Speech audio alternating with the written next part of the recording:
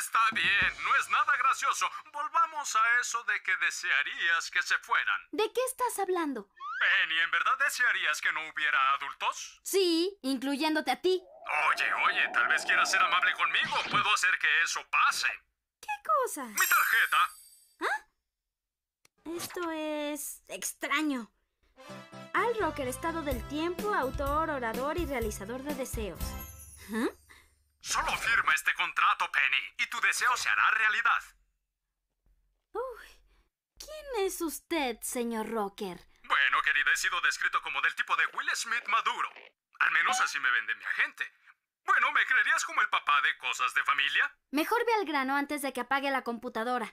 Bien, bien. Tú desearías que se fueran los adultos. Puedo hacer que eso pase. Ay, sí, claro. ¿En serio? Solo firma el contrato y ya verás.